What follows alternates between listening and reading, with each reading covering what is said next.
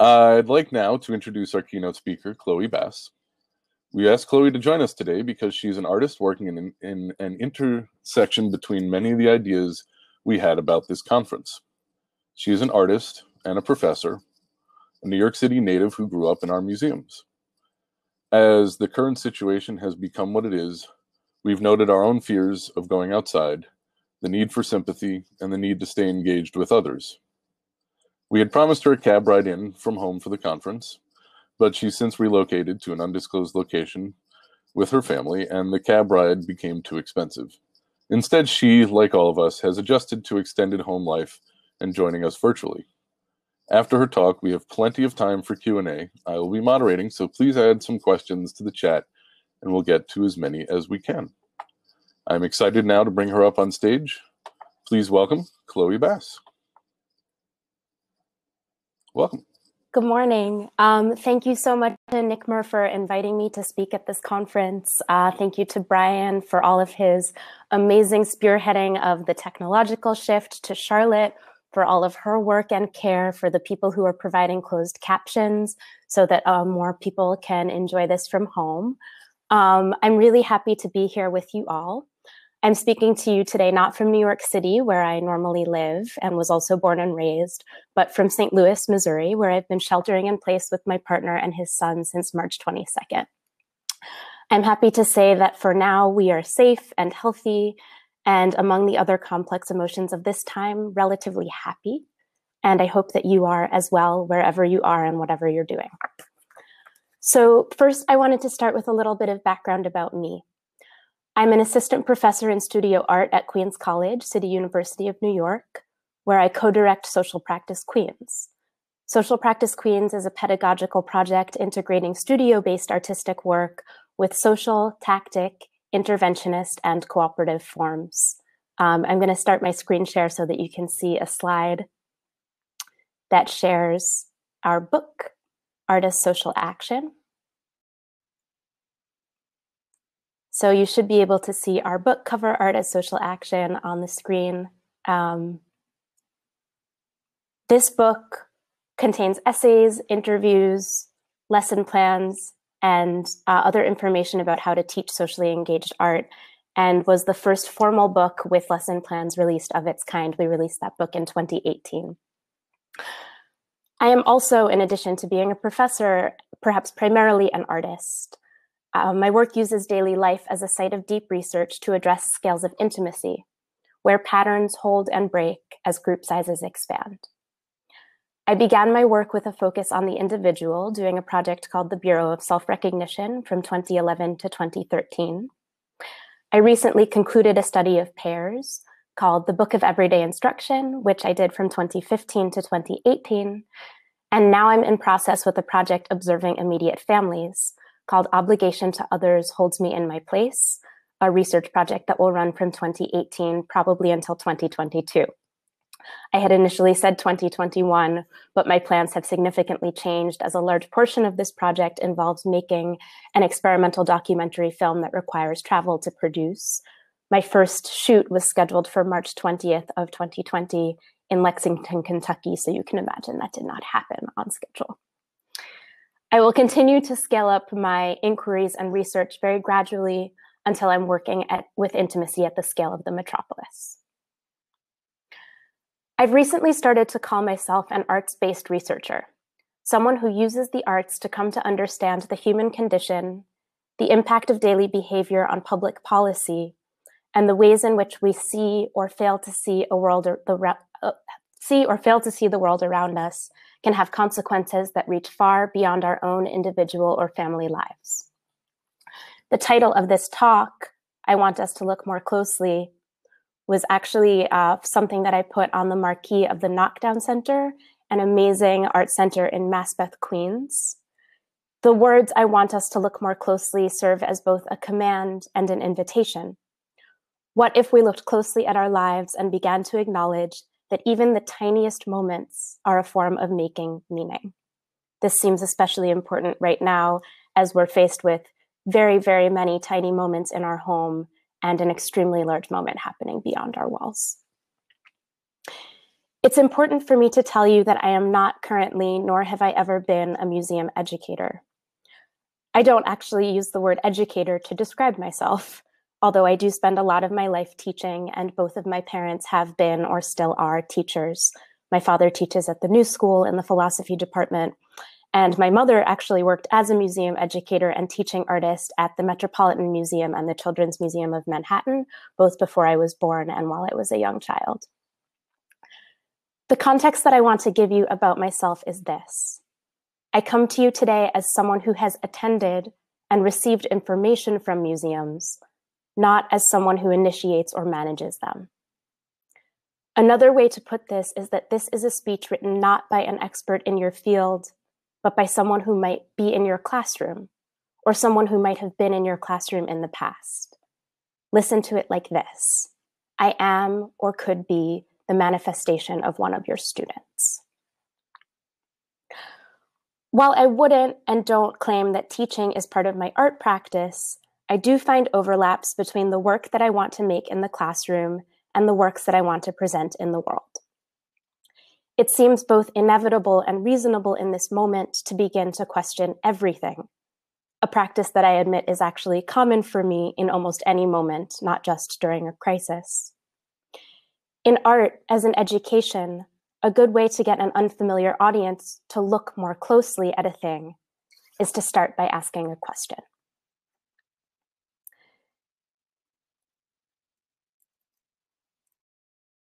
In art, I use questions to bring other people into my practice as quickly as possible. As a conceptual artist who works in complex, often ephemeral forms, yet with a practice that undeniably requires the participation of other people in any number of ways, as interview subjects, as co-hosts, as players, as collaborators, I often walk the line between being totally approachable and totally confusing. Giving people a familiar form, the question, as a way to engage with the project is one way to be sure that someone will engage with the project. When someone asks a question, you give an answer, even if the answer is that you don't know the answer. My current project, Wayfinding, which you can see now in the slide, which is presented through the Studio Museum in Harlem and actually miraculously remains on view in Harlem St. Nicholas Park even during this period of physical distancing, centers itself around three major questions presented at a monumental scale, billboard scale to be precise. The three questions of the project are how much of life is coping? How much of care is patience? And how much of love is attention?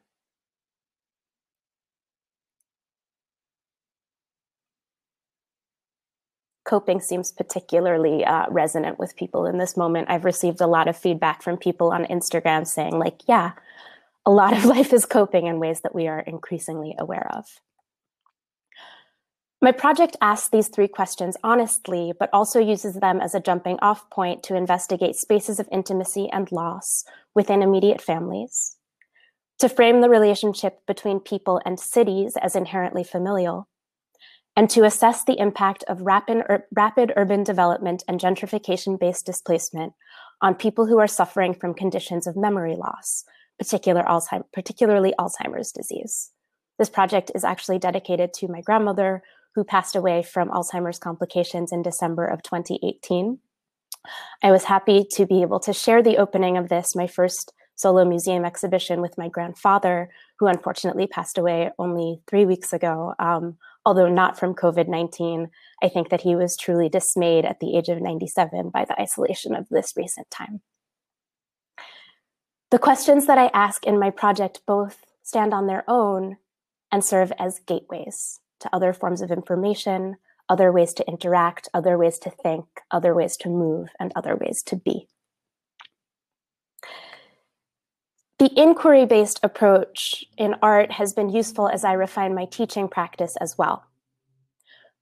Both teaching an assumption of who my students are, what they believe, and what they know, and teaching in opposition or defense to things that I fear in advance that they may not believe or roll with, have demonstrated themselves to me to be unhelpful at best and problematic at worst. In order to learn who the people with me in the classroom actually are, I ask. When I feel that something is too quickly presumed to be shared, when in fact we haven't set the terms for its meaning, I ask. So today I am asking you questions that are less poetic, but no less important. What is a museum? What is education? It's a funny moment to introduce these particularly in, particular inquiries. I am sensitive to the fact that many among us may be or have been laid off or furloughed from their professional abilities to engage these same questions in the way that you might normally. But I also believe that it's in this period of stressful pause that we actually have the ability to question what we may have been unnecessarily and quietly accepting for a very long time. This is a quote uh, that I'm going to share with you in a minute, but Leslie Jamison, in her recent article, Other Voices, Other Rooms for the New York Review of Books, asks, What belongs in a museum anyway? An epic landscape painting? Sure. A crib? A baby? A photograph of a crib and a baby? Though we often understand art as representation, it actually operates through exclusion and distortion. Art changes the world, distills it, transforms it, and rejects it in order to focus and electrify our attention. Beauty rises from what feels recognizable and far away at once the craggy mountain glowing with human love, the crib in its white walled gallery. Art doesn't just replicate our lives, its force lives in its acts of framing and reimagining, its juxtapositions, and as artist Leah Lublin puts it, its displacements. Jamison's essay, which opens up essential questions about the museum as a space of everyday life, is nominally a review of an exhibition of home movies, private lives, public spaces, at the currently closed Museum of Modern Art. While the essay is beautiful, it fails to mention what MoMA has decided, at least for the foreseeable future, doesn't belong in the museum its educators, all of whom had their contracts terminated as of April 2020. Some of you may be among us today. If I'm speaking about you, please feel free to weigh in during the question and answer period. As a person who received a lot of education through museums, I feel both eager and obliged to reflect on the many things that they've given me the image that you see right now on the screen is a series of diagram diagrammatic photographs that I made depicting four phases of love that a person might be in between themselves and an institution. From left, they are nobody loves me. Second from left, the impossible fairy tale, uh, which is two people fall in love, encounter adversity, triumph, and live happily ever after. Third from left, we tried to love each other, but it didn't work out. And fourth from left, I love somebody, but it's not requited. Of course, these are not the only phases of love, but they're four that I wanted to demonstrate. As a child, I found the museum to be a space of play. Of course, this is not guaranteed for all children. We know that as in any public space or space designed for public good, some people are more welcome and have more access than others and those who are not welcomed often feel it acutely. As a young adult, I embraced the museum as one of the few spaces where I could feel alone or even quietly be with friends and often also be inside. The museum had the prescient quality that a bar might take on later, and thanks to early 2000s partnerships between New York City public schools and many, many amazing institutions, museums were free. As an adult, I've used museums as spaces for dates, sources of income, places to be with and simultaneously escape my own students, and so much more. For a long time, at least in Western culture, we've believed that we might receive from a museum an assessment of public good or an evaluation that something is of quality. This feels not so different in, the, in this moment from assessing metrics of public health. A museum being good might be an indicator that its corresponding culture is also good. As culture is good, so too the people. In this moment, our way of putting that is if the curve is flattened, bring on the rise of the economy. Of course, many thinkers, including the exceptional Laura Raicovich, who is currently serving as interim executive director of the Leslie Lohman Museum, and whom I'm delighted to call a friend, have questioned whether museums truly can or do hold any sort of societal diagnostic space. In her March 2020 article for Frieze, Raicovich writes, for museums to become more equitable spaces, the structures and histories that underpin them must be confronted, starting with recognizing that museums have never been neutral. This necessary evolution is not a transition towards an ideology, but rather a recognition of past and current ideological frameworks that are unjust and exclusionary. Among the thorniest aspects of this undoing is how culture is funded, in part because the power relationships embedded in museums, especially in the United States, mirror the yawning gap in wealth and privilege between an increasingly exclusive minority and the vast majority of society. That culture is dependent on this small group, as magnanimous as it might be, is problematic. Raicovich's article puts emphasis on sources of funding, an argument with which I strongly agree, but from which I wish to deviate to an emphasis on social role the role which education has long played a large and in my recent museum experiences, particularly increasingly larger part. What does it mean to convene a museum educators roundtable at a time when major museums, MoMA is not alone in this, are laying off their education staff? Some with the claim that revenue losses mean that they no longer know when education will ever be part of the museum's plan again. What kind of precedent does it set for our society to say that cultural good no longer involves the active support and production of pedagogy? I don't know you and I don't want to assume what you do, but I can say this with a relative level of confidence. Sorry, I'm going to get back to the right slide. Thanks for bearing with me. I don't know you and I don't want to assume what you do, but I can say this with a relative level of confidence. We are, I think, all people whose livelihoods were predicated on and held up by huge amounts of direct interpersonal contact that have now been taken away. What I want to make clear is that even before this pandemic moment, our access to the social, which we possibly took for granted or even from time to time found exhausting, truly set us apart from the living and working experiences of many Americans.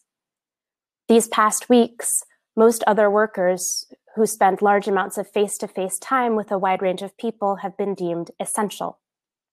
Medical professionals, caregivers, and those who can ensure that we still access food. I am not ignoring just to say the huge numbers of invisible workers whose labor makes that other essential work possible cleaning staff, transit workers, etc. But here I want to raise a kind of false comparison question. What if what was deemed essential was measured entirely through its level of social contact, rather than through the performance of specific skill sets or the provision of primary needs like food, healthcare, and shelter? In other words, what if educators became essential workers too? At least in my narrow channels of social media, news media, and inbox, a lot has been asked about the role of the artist during this time. A lot has also been stated about the difficulty of being a teacher or the failures of the move to online education, which in my own experience have been many. But no one, at least no one that I've seen, has questioned the role of either the educator or the museum as we enter an uncertain, uncertain future. What is it that we are supposed to model? What do we find ourselves modeling accidentally, or worse, find ourselves being used to model by the institutions that claimed to protect us. I found through other elements of my artistic work that in the realm of human intimacy, no space is too small to question. My project, the Bureau of Self-Recognition, from which you can see one sample exercise on the screen right now, opened with a question that I was genuinely asking myself at the time.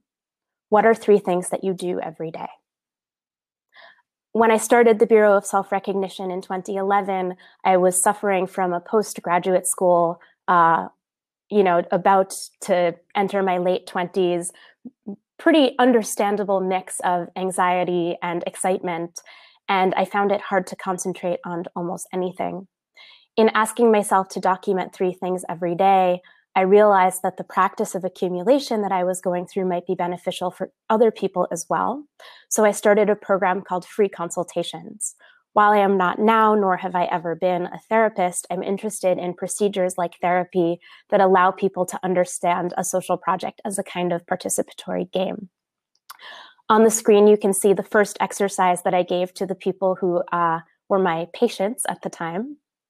Exercise one you can record all observations in your desired format.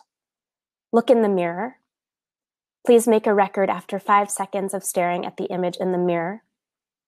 Make a second record after 15 seconds of staring, a third after 30 seconds, a fourth after one minute. Keep making records until you feel finished. Guiding questions. What is your first reaction? What is the first physical behavior that you notice? How does this exercise change over time? Is this you? I wound up working with 26 different people, some of whom I had known beforehand and some of whom I didn't, to do a series of exercises that they conducted over the course of a month.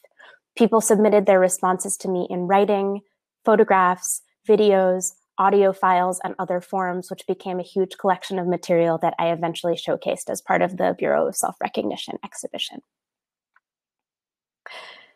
Asking yourself, what are three things you do every day? At least when you're teaching, you know that you did something. What did I do today? I taught. Something happened. Particularly during these strange days of inside time, that kind of consistency and social awareness is actually being reconfigured as remarkable. Minutes take on new minute, new meaning during this period. In normal life, I can find myself tuning out, skimming through books that I've taught for what feels like 1,000 semesters, glossing over lessons that I impart while no longer holding on to the sparkle of wonder that comes from learning something for the first time. But now I wonder what happens when it all becomes new again. Will the first steps be glorious or afraid? After the Bureau of Self Recognition, I conducted a project called the Book of Everyday Instruction, which was an eight chapter project about one on one social interaction. You can see on the screen now an installation view from chapter one, You and Me Together. Each chapter of the project focused on its own central question, which was available both publicly as a kind of title and also privately as a way of guiding my research and activities as I did the work. Chapter one's central question was, and particularly striking during this time, how do we know when we're really together? I conducted chapter one of the Book of Everyday Instruction in, in Cleveland, which was a place that I had never been until I took on this work. I asked people in Cleveland who I met largely online through places like Craigslist if I could join them in their everyday life for an activity that they normally did with a different partner. I said that I was open to doing anything other than something that was sexual in nature. The idea is that I would meet them at the normal time that they did their activity, in the normal place where they did their activity, and I would replace their usual partner so they would swap out that person with me. I wanted to call attention to the ways in which just bringing in a new person allows us to have a heightened awareness of the things that we do oftentimes without thinking. But I also wanted to invite this, the answer to this question, how do we know when we're really together? We know that it's not just when we're in the same room or doing the same thing, that there are myriad complexities to tracking this sort of time and the feelings that it brings. I wound up joining 16 different people I did not formally document the process of being with them, but rather um, I shared uh, small instant photographs that were a kind of visual note taking that I later, later framed within larger digital photographs. Each small photograph held in my own hand, the environment behind them, my immediate Cleveland environment. The caption that you see is part of the diptych, so it's a text and photo diptych. Each caption describes what was happening to the best of my recollection in the moment where the instant photograph was originally taken. This was from a day that I spent with a teenage girl named Heather. Um, the things that she normally did with her friends were hang out and talk about boys. So we did the same. It was a very enjoyable afternoon. I wanted to combine these photos and texts as a way of understanding fleeting moments where we feel connected, even if they ultimately don't mean anything or are difficult to even remember. For chapter three of the Book of Everyday Instruction, the chapter title being We Walk the World Two by Two, I wanted to ask the question how do we build a place through shared labor over time? I was invited to Greensboro, North Carolina through an amazing living museum called Elsewhere and through the funding of Art Place America to create a permanent public project along Greensboro's South Elm Street. Because I was still working in the format of pairs, I decided that I wanted to interview people who had a shared work or life history on South Elm Street for a long period of time. Um, the youngest organization that I interviewed was actually the museum itself, which has existed since 2003. I was also able to speak with someone who was 84 years old, as well as to the man that you see in the photograph, along with his family, about living and working on South Elm Street since the early 1980s. This project took place in 2015 and 16. I turned the interviews that I did about shared histories of life and work into permanent historic plaques, documenting moments that otherwise might not go recognized in a public format. This man is Jerry Limenstall, and his plaque reads For 10 years, four times a day, Jerry Limenstall and his family's dog, Watson, took long walks through downtown Greensboro. After Watson died, strangers would stop Jerry to ask where the dog was, sometimes crying when they heard he had passed. Their walks were part of this neighborhood. In this photograph, you can see Mary Wells. Uh, Mary's antique store actually closed because she retired about a year after the plaque went up, but I'm happy to say that the plaque remains on the building. Mary's plaque reads in this store, Mary Wells has encouraged visitors to touch objects for the past 46 years. She relates to furniture as though it were people, telling us about, the, about history through the feel of wood or glass. The store has also served as a second home for Mary's two daughters. There are four plaques in total documenting lots of different kind of shared work and life experiences and I'm proud to leave these tiny moments for the, the residents of Greensboro, as well as for any visitors who might come to South Elm Street. While I appreciate the I'm not a curator shirts that Nick sells and would love to get one, I should also be honest in saying that it's in the education department of many museums that I have seen some of the most interesting and flexible curatorial work taking place. My own project, A Field Guide to Spatial Intimacy, which was part of the Book of Everyday Instruction, Chapter 4, was first produced by the very same department that I'm calling out for letting go of its educators, the Museum of Modern Art. I was commissioned to do Field Guide for Spatial Intimacy by the Education Department, but I was commissioned as an artist. A Field Guide to Spatial Intimacy was a workshop-based performance project that uses the uh, sociological field of proxemics the distances from which we expect or feel we need to stand from people in order to maintain culture and design. You can see in this image um, two of my participants standing at the social distance apart from each other. The spaces go intimate space, personal space, um, social space, and public space. Public space being 25 feet, social space 12 feet, personal space 4 feet, and intimate space 18 inches or a foot and a half. Oops. Let's see if this video will play. Out of this workshop, and there's no sound in the video, so don't worry when you can't hear anything. Out of this workshop, my participants participated in a method of creating story tapes. I was able to find blank measuring tapes from a company called Lee Valley Tools in Canada, leave it to Canada to, to create all the good stuff, where people could write their own stories of social distance on what amounted to be exactly a 12 foot measuring tape. You'll see scrolling through the screen a work by a woman named Paige who participated in the workshop, talking about the social distances that she is trying to cross between the people that she finds herself with and among. Now, of course, we did this in 2016. Social distance meant something different. It means something else to me now. I'll give you a second to watch the video.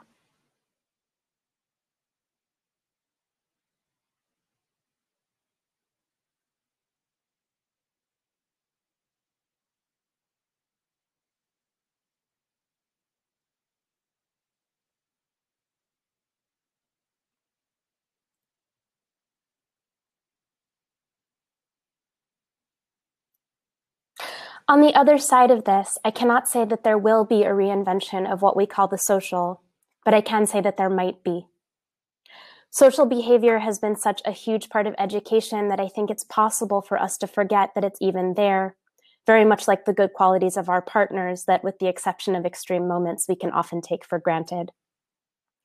I think it can be hard to imagine as educators that anyone isn't having the level of conversational content that we've anticipated each day regardless of what we may be teaching. Recently, I've been working hard to formulate the idea of the second responder. First responders are those who are, and this is the actual de definition, designated or trained to respond to an emergency. But as anyone who's experienced a challenge or loss will tell you, emergency is not actually a moment. There's the initial incident, the accident, the diagnosis, the death, and in those moments, we generally know what to do. There's a flurry of action, a huge number of calls, practical details. And then that moment passes. The immediate work has been done. The phone stops ringing. This is where second responders enter the picture.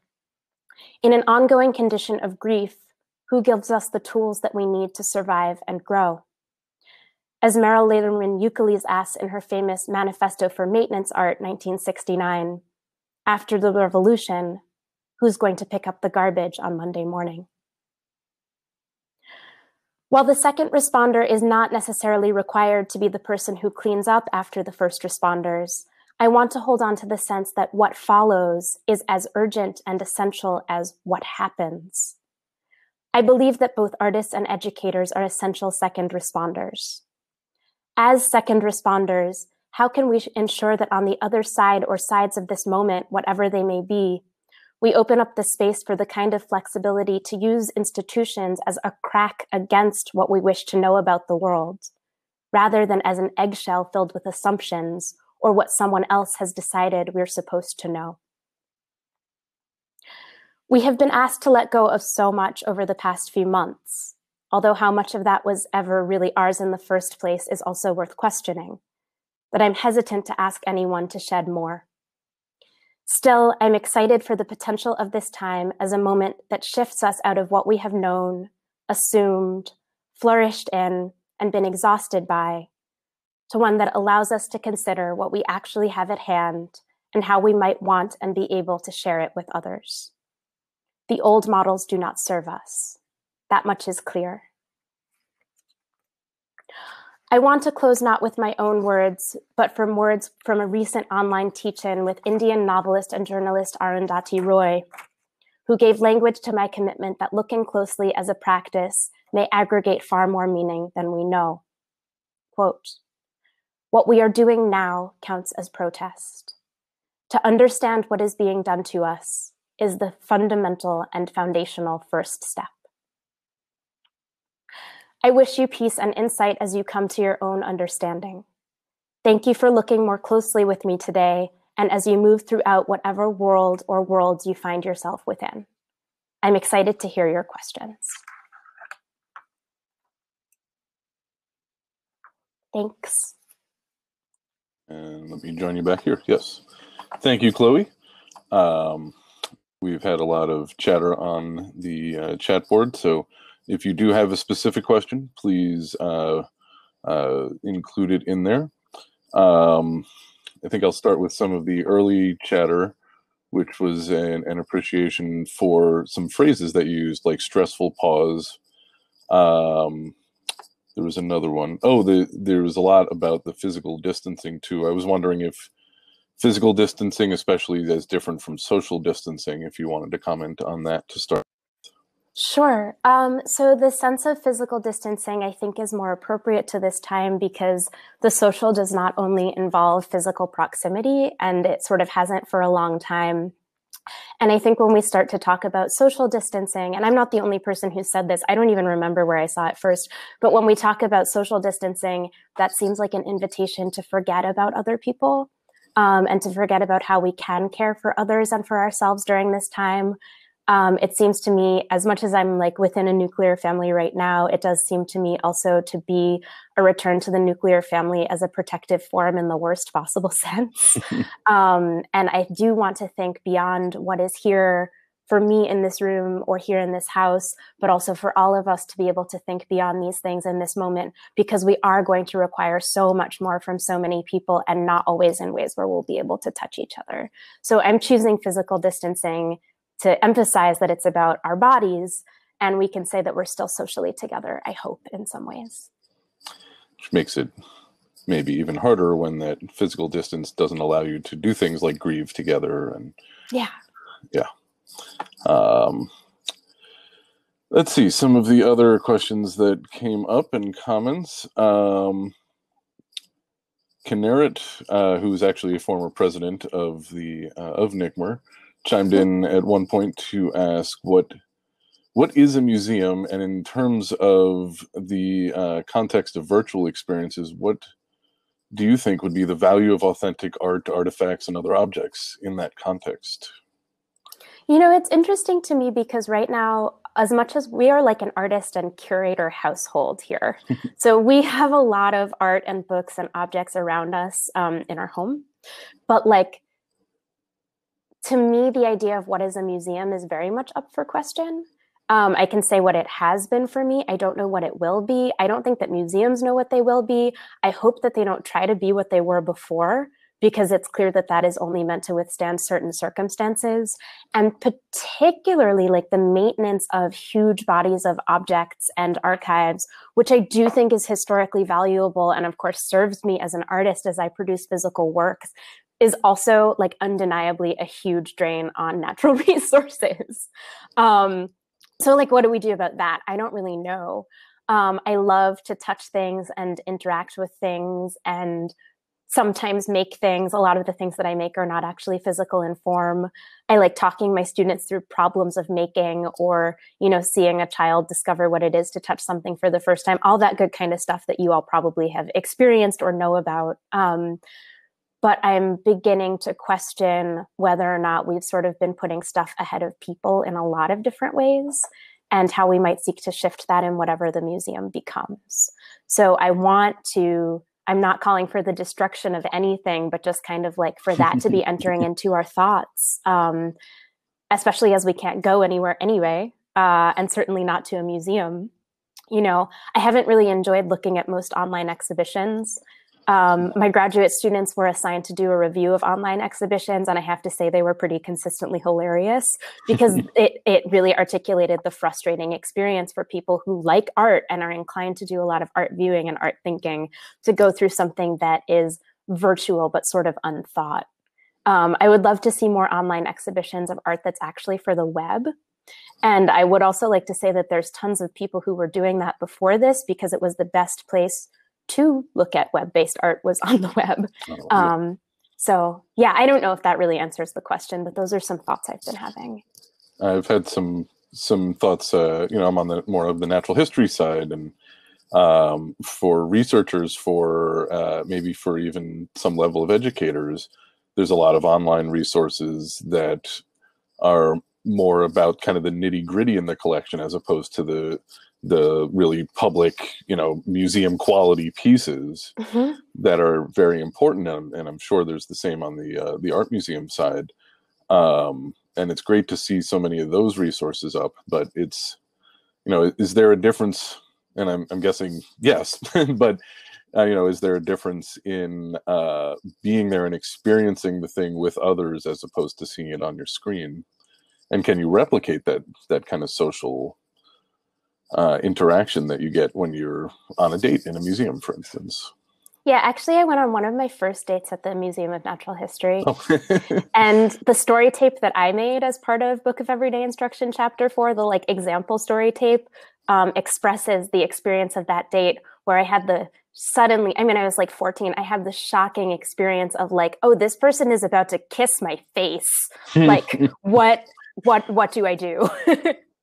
and how surprising that was for me, particularly in a context where I felt so at home as the Natural History Museum. I don't think that's a replicable experience not least because I'm not 14 anymore, but you know, just in general, right? Those sense of surprise or doing something for the first time, um, that is what it is. It happens for the first time and then it kind of passes. But trying to figure out a way to call back those feelings into question as we seek to rebuild or reinvent is what feels important to me. Meredith uh, Wang is following up with uh, something interesting. I think here so she she typed out uh, experiencing space and physical objects through multisensory interaction is so important for people with and without disabilities. Do you have any ideas on how we can bridge that idea virtually or those ideas? Sorry, can you ask me the question again? I was scrolling because I'm like trying to find stuff, but I'm giving up on trying to find stuff. So yeah.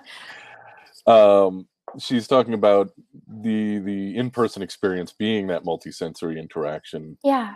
Um, especially for people with, uh, with, no, I'm sorry, not especially, but for people with and without disabilities. Sure. Um, you know, you, you can't, you think of a science center or a, a kids museum or, or even a library that has a, an exhibit on, on maybe books that you can take out. Um, do you have any thoughts on how that could be bridged in any sort of virtual way is is the question i suppose yeah i mean i there's probably possibility for that. I'm not sure I'm the best person to speak to that, but there are people who have been working in virtual and augmented realities in ways that are um, quite oftentimes effective. I have mixed feelings about my own experiences in those worlds, but I can't deny that it's going to be important as a way of conveying multisensory experience. Um, I will also say, like, there's sort, there's sort of like that move towards technology, but then there's kind of the other move way back when, which is like packages and mail art, if we still have a postal system, are going to become really interesting ways mm-hmm. to share sensory experience. And it just takes more time. But that metric of spreading out time to me is also kind of a good thing. That we can't just guarantee that we could have something as soon as we need it, um, but have to take the time to assemble it, to receive it, and to engage with it, I think offers a lot of possibility for learning and experience. It's an interesting the um, the the mail used to be used for uh, a lot of um, I'm blanking on the name of the thing, but when you're uh, kind of competing, uh, you know what? Skip that because I'm blanking on the name of the thing I'm trying to talk about. So um, Virginia actually followed up on what you were saying about uh, artwork that's made for online. Mm-hmm. She, she says she used to see a lot in the 90s and early 2000s. Can you point to any specifics, uh, spaces or example of artwork that's currently made specifically to be online? What I would do is actually go to the website Rhizome. I believe it's rhizome.org, and they have an excellent archive, and they will do far more uh, good work in this arena than I will in a short term. So they have all the resources that you need, maybe not all, many resources that you need. And then it is up to you to sort of start to identify what you wish was there and wasn't. You might be able to find it or you might be able to make it, but it's Rhizome that I would check out as you were saying that, someone actually posted the uh, the link to that. So Thank that's, you. that's great. uh, Marina uh, um, followed up actually on the the post office. She's been utilizing the the USPS to experience connection in art. She put out a call to her friends to create cat related artwork for a cat art gallery in her den. She's been having a lot of fun, and now she has memories that she can cherish even after that this time. Um, that's nice. Um, all right, I had some other questions from earlier. One, oop, my document. Here we go. Um, Leah Golubchik, a good friend, uh, wrote out Does trauma informed education and practice influence the second responder idea? And actually, there was a lot of kind of buzz about second responder when you said that, and people uh, thanking you for for mentioning them as as such. But um, again, the, uh, trauma-informed education and practice influence the second responder idea. Are there are they formally related? If not, where does that come from? Um, so the second responder idea is something that I and my partner have been reflecting on as we both sort of processed what we're best at doing during a crisis. Um, we're actually both quite, as it turns out, cool headed in an immediate crisis like i sliced my finger open a couple of weeks ago. We were both pretty calm about that. But um, you know like beyond sort of small domestic jokes right we've been talking about where we really serve best um, with the skills that we actually have not being the people that we ideally want to be. Because sometimes you can't become the biggest person in the world also when you're going through something very difficult so using what you have using what you know you're good at what you know you can do where do you best serve mm-hmm. um, i have not done any formal trauma education but it is a funny secret part of my backstory that i wasn't planning to go to graduate school and then there was the 2008 recession and i was like i guess i'm going to graduate school and i'm either going to get a degree in performance or i'm going to get one in trauma studies um, and i chose performance but I could have chosen trauma studies. And like I had an equal passion for both um, it's I'm laughing about it now because it feels like such a ridiculous thing to be choosing between. But I mm-hmm. am interested in the ways in which certain elements of ongoing trauma actually affect our ability to listen or to engage with others. And I have dealt with that a lot through my performance and participatory artworks. So the answer is yes, but there was no like formal source of text or article or book that I was reading as I was putting together those thoughts. I'm going to stick with the second responder idea for a moment. Something that struck me as you were talking was, you know, the first responders are very visible, um, not only physically, you know, they're shiny often and uh, wear reflective gear or, um, or have literal shields that are shiny. Um, could you talk about the visibility, perhaps, of second responders? Yeah, I I think um, Hmm.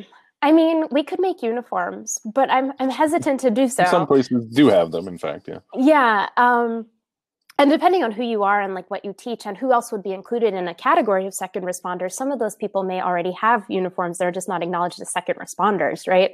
So I don't know that I necessarily need the second responder to be visible as an individual, but rather as almost a form of work or a form of like holding people up. Um, one of the things that I think about often is that a lot of the people who get the most public attention, it's not to say that they aren't working the hardest, but that there's often a lot of quite invisible work underneath or behind them that will never receive public attention. And that has good parts and bad parts.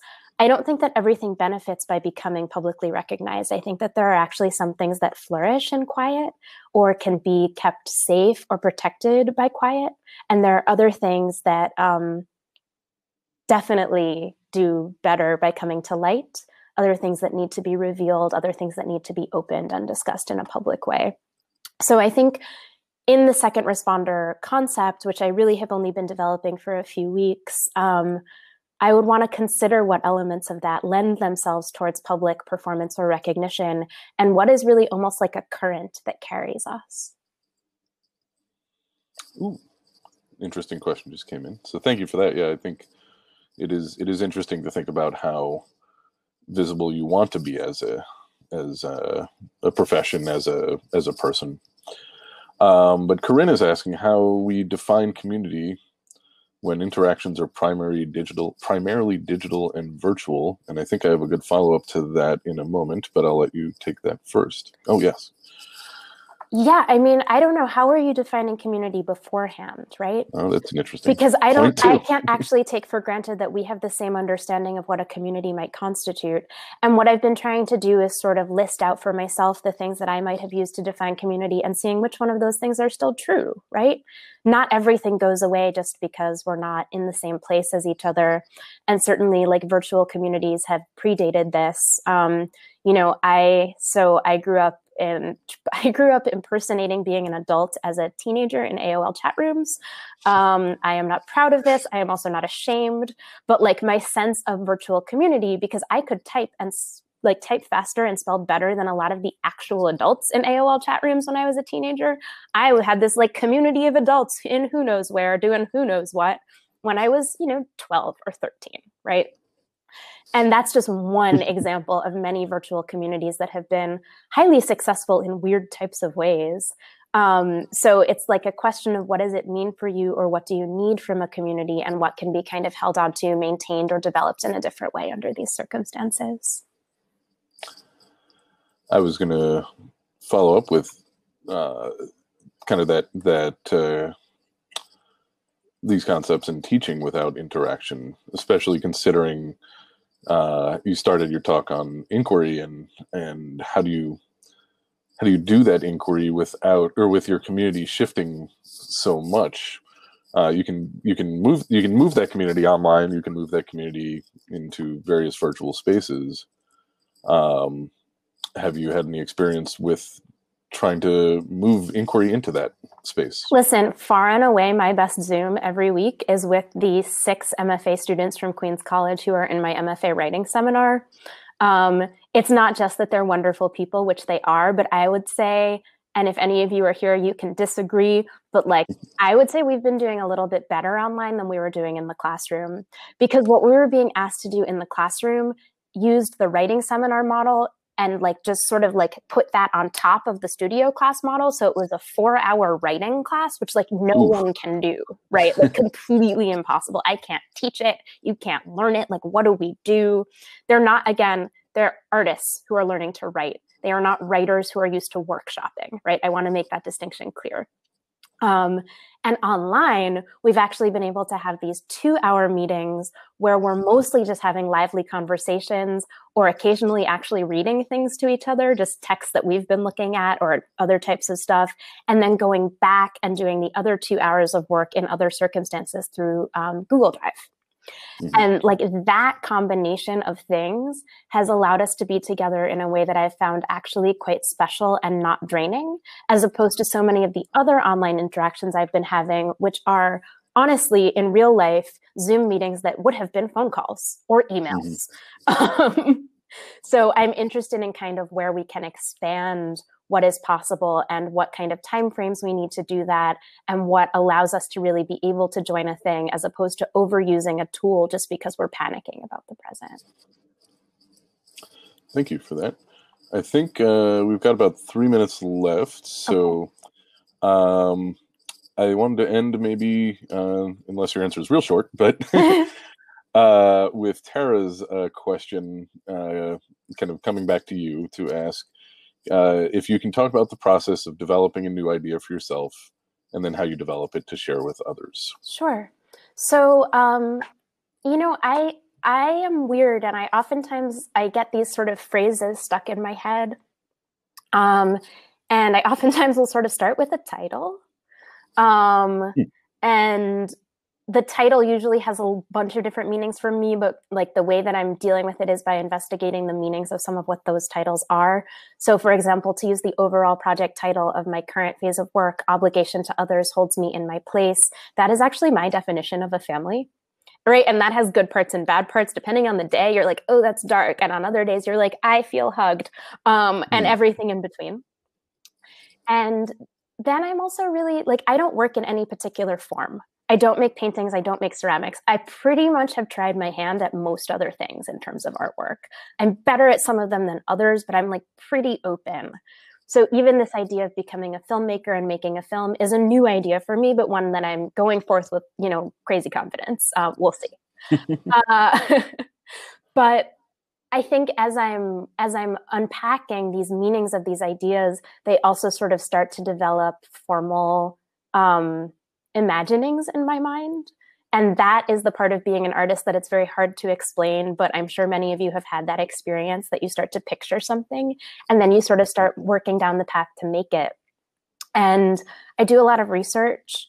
Um, and when I say research, I mean that I read things and watch things and look at archives, but I also speak with people, have workshops, have focus groups, um, do public interventions, public performances that tell me about a space. I do a lot of eavesdropping. Um, and all of those things are kind of like the materials that I use as my studio practice to put together a longer idea.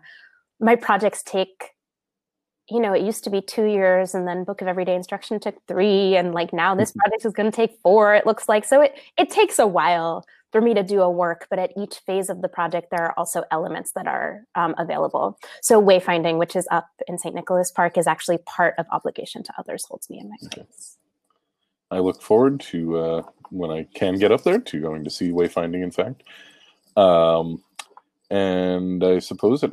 Oh, I, I did want to acknowledge there are quite a few people asking uh, for speculation on how schools will change, how society will change, and I think you know these are all great questions that no one knows the answer to yet.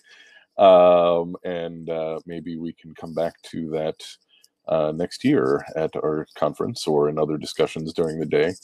Yeah. So in my scroll, I did see that um, Dia Vij asked a question that I would love to respond Oh, to, please, actually, please, um, if we have a minute.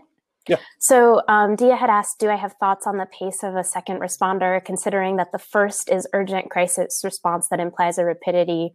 And I would say that second responders do not, and this is very, very important to me, do not all respond at the same pace that one of the privileges about being a second responder is that some of that second response is urgent, some of it is very slow, but the idea is that it's sustained. And so if you're imagining as a, as a musical score, right, it's a kind of thing that's coming in multiple instruments at multiple registers to make the whole piece. There might be one long drone and a lot of staccato, I don't know, violins, but like it is a collection of things that works together and that operating at multiple paces is what we need the privilege to do in order to serve each other well in the long term. and playing off that, the percussionist maybe only comes in two or three times in the piece, but is still a necessary part of that. Yeah. We've been living with a kid and an electric drum set, so I know how you feel. I'm thinking more of the timpani who only you know plays at the crescendos, not at the uh, not throughout. Um, but yes, yes. Uh, so thank you, Chloe, and I want to again welcome everyone to the rest of the day. Uh, the networking session is uh, open all day, but currently uh, open as well. Um, we encourage you to check that out for the next couple of minutes. It's a way to connect with someone random uh, here, and then the sessions will be starting at about 10:30. Um, so uh, you can't hear it, but there is a, a round of applause going on right now, Chloe, to for you, and uh, we're glad you could join us today. And stay safe in St. Louis. Thank you. Um, we look forward to seeing your movie. Thanks so much for having me, Ryan, and for everything that you've done to put this together. Thanks to everyone at NYCMER and everyone who's enjoying your conference day. Have a beautiful um, experience. Thanks. I'll, we'll see you all around uh, during the day.